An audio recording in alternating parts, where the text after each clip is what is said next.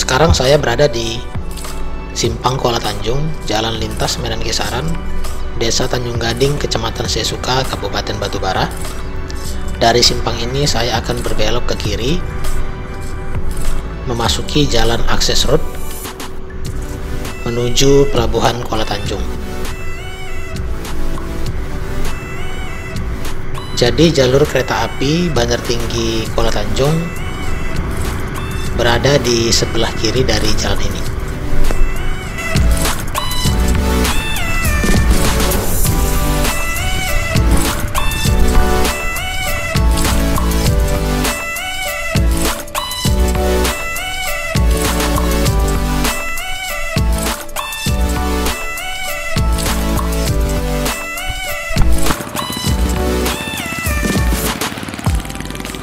Saya sudah tiba di kilometer 6 tepatnya di perlintasan memasuki gerbang komplek perumahan Tanjung Gading PT Inalum. Di sini tampak pos JPL sudah selesai dibangun.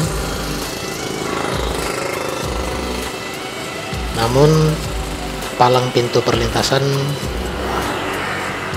belum selesai masih hanya palang perlintasan sementara yang dipasang di sini. Dan di depan sana itu adalah stasiun Tanjung Gading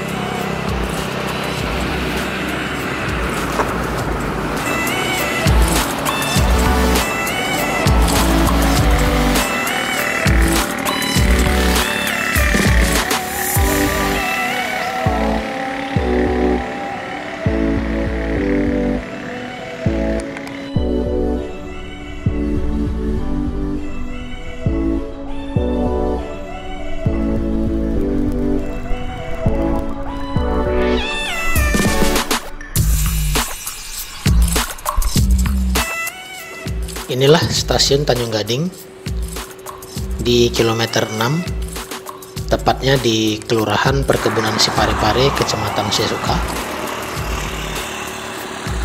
Di depan saya ini adalah jalur menuju Bandar Tinggi. Ada tiga jalur kereta di stasiun ini dengan satu jalur trek lurus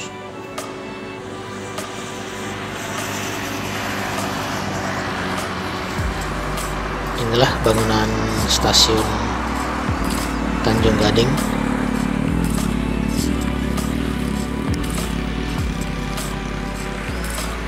Dan jalur ke sana mengarah ke Kuala Tanjung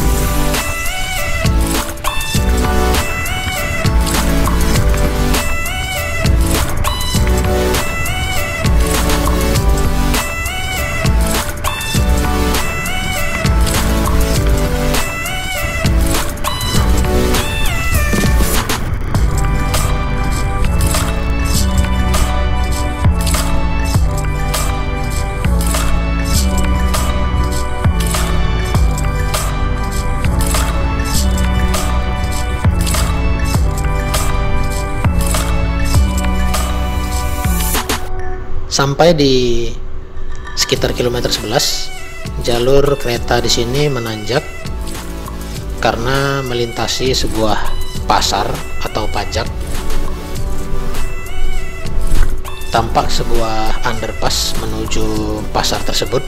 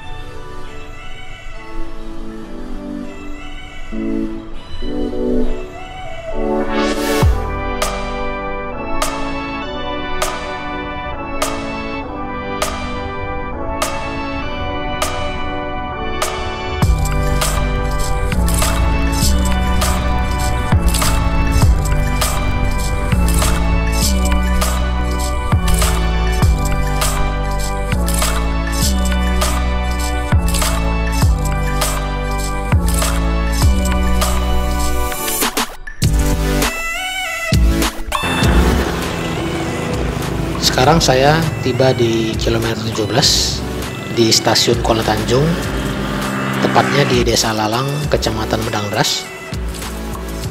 Di depan saya ini adalah jalur menuju Bandar Tinggi.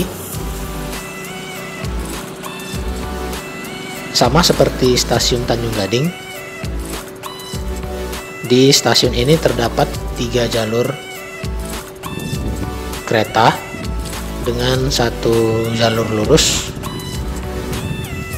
Dan bangunan juga sama. Tidak ada perbedaan bentuk bangunan.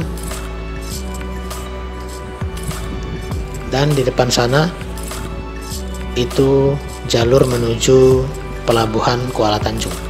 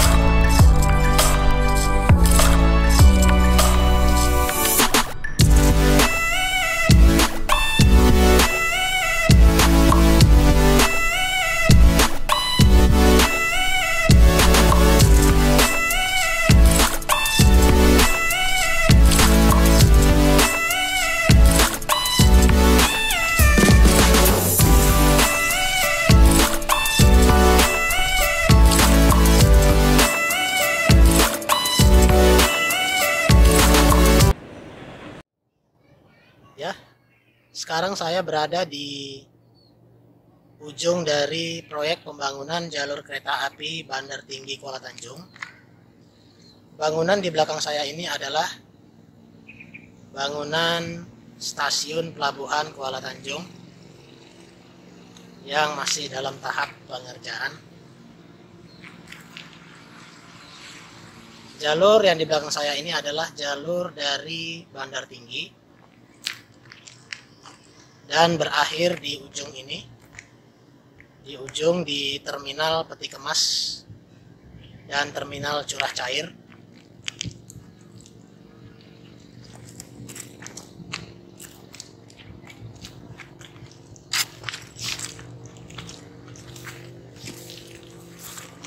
Dan yang di sana atap berwarna merah itu adalah gerbang masuk dari pelabuhan Internasional Kuala Tanjung.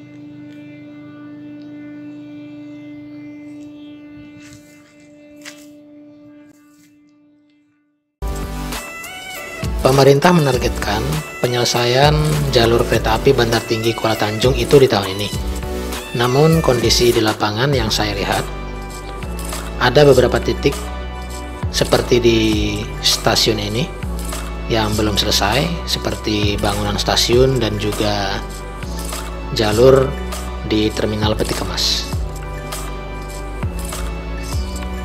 Baiklah, sampai di sini dulu penelusuran saya dalam melihat progres pembangunan jalur kereta api Bandar Tinggi Kota Tanjung.